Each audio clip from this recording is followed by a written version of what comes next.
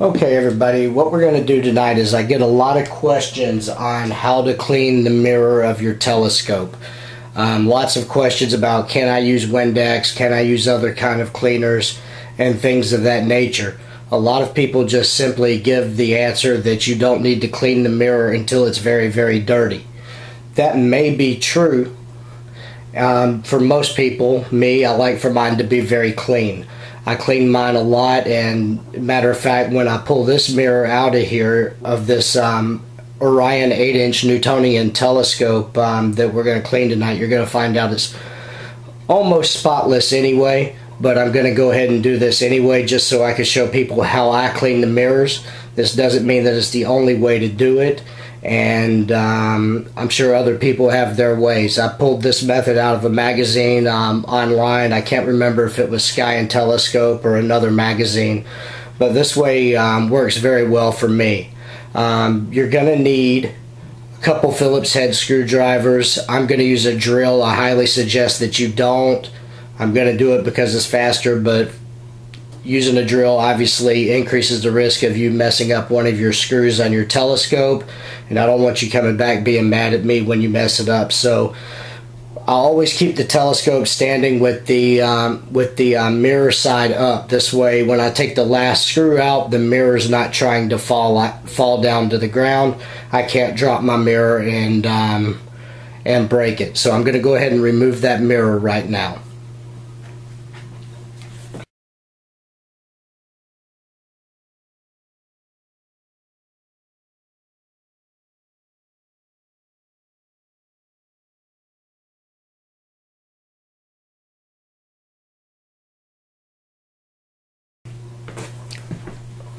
Okay, so now I put my screws somewhere where I can't lose the screws. Once you get the screws out of there, the mirror simply, the mirror, the whole mirror cell simply lifts out. If you, I don't know how well you can see this on here. Um, this telescope's been sitting in the house. My mirror is probably not nearly as dirty as most people would tell you that it needs to be before you clean it. However, it does have a lot of dust. Um, we're living in a house that was flooded a few months ago, so there's a lot of construction going on, so there's a lot of dust in the house and um, stuff like that. So the next thing we're going to do is we're going to remove the mirror from its mirror cell.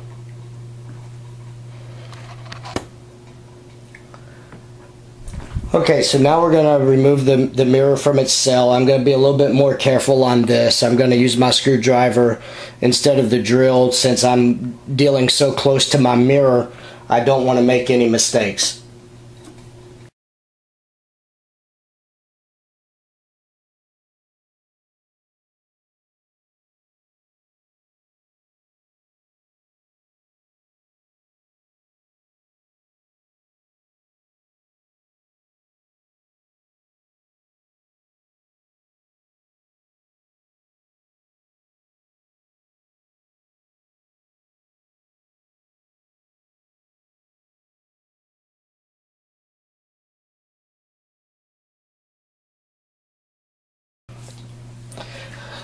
Okay, normally I would use my kitchen sink for this. I don't have a kitchen right now, so we're gonna use the we're gonna use the bathroom sink as the best thing I've got right now.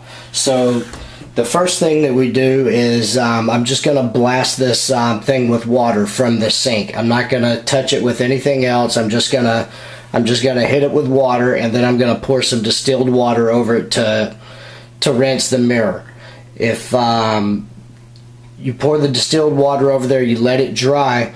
After it dries, you look at it, see if the mirror is clean enough to make you happy to your satisfaction.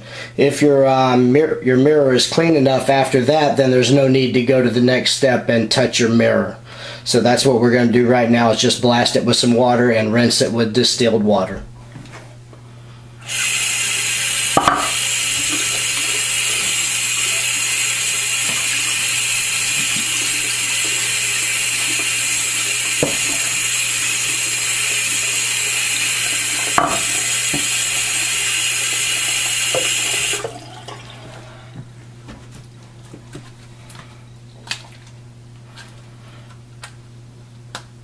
And this is just a plain old distilled water that you could get from any from any grocery store it's about a dollar a gallon just gonna rinse it real good with that After we rinse it with the distilled water, then we'll take a towel and we'll stand our uh, mirror up on the towel. I don't have a towel sitting there right now. I will in a minute, but we just stand the mirror on its end like this right here. We allow it to drip dry. We do not rub it. We just allow it to drip dry like that. Okay, so I've determined that um, after um, hitting the um, mirror with the um, water, letting it dry, it's um, not clean enough for my liking. So the next thing we're going to do, put the mirror back in the sink. We plug the um, drain on the sink. Gonna allow the gonna allow just a little bit of warm water to fill up the sink and put just a couple drops of some Dawn dishwashing liquid in it. Not very much at all. Just enough to um, get a little bit of suds going in the sink.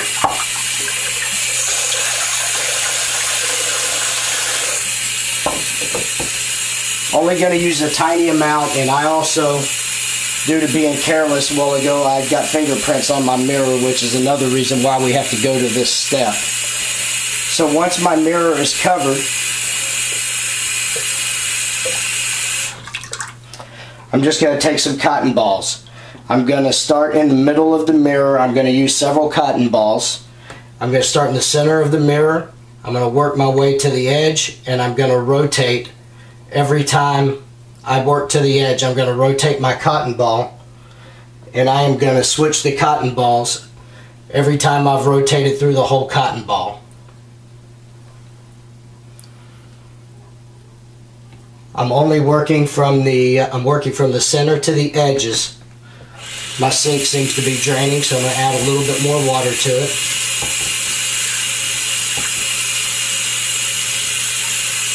Continuously rotate your cotton balls and change the cotton ball often.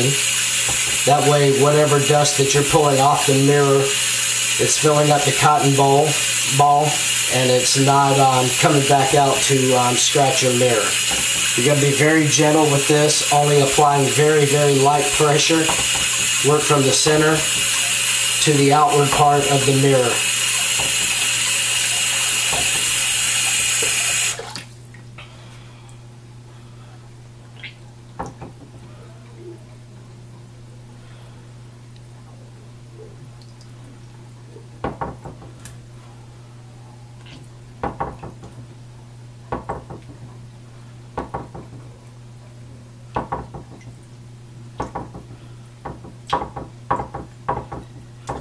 Couple little spots on the edge that it looks like I missed so I'm just going to hit those spots on the edge real quick.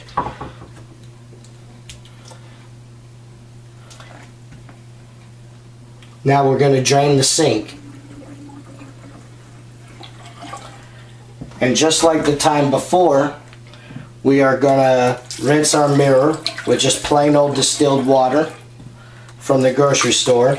Make sure that you rinse rinse it plenty Use the distilled water and there won't be any spots on your mirror.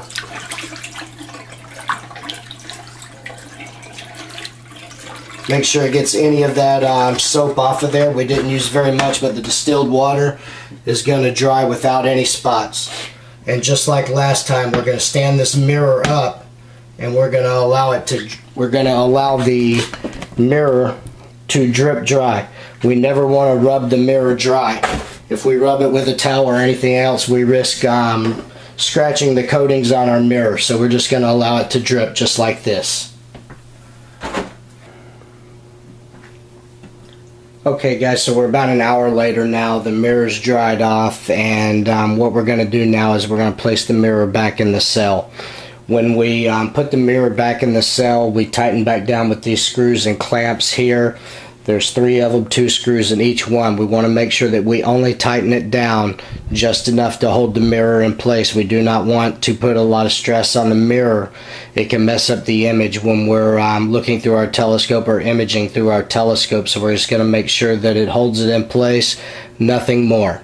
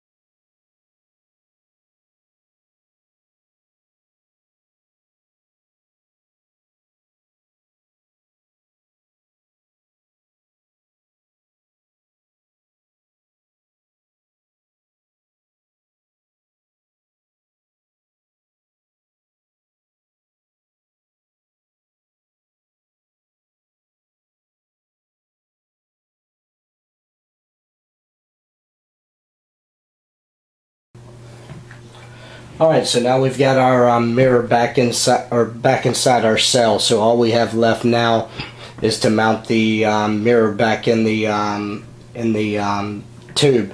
So um, find the holes on your mirror cell, line them up with the holes on the um, tube, get them in there. And again, I'm going to use my drill because it's faster. I highly recommend that you use a screwdriver so that you don't run the risk of messing messing up anything in your telescope. If you do decide to use your drill, please don't blame me if something goes wrong with it.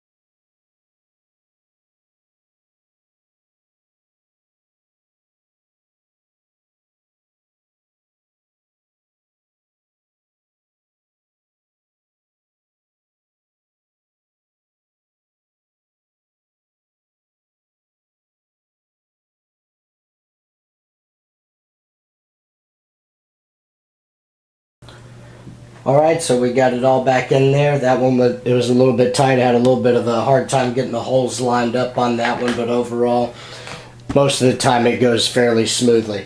So that's it. That's how I clean my mirrors on my um, Newtonian telescopes. Um, take your time and um, be sure to use clean cotton. Be sure to use distilled water. Make sure to place your telescope in a position to where you can't drop your mirror and um, keep your fingers off of it. Everything should come out well and you should be able to safely clean your mirror this way.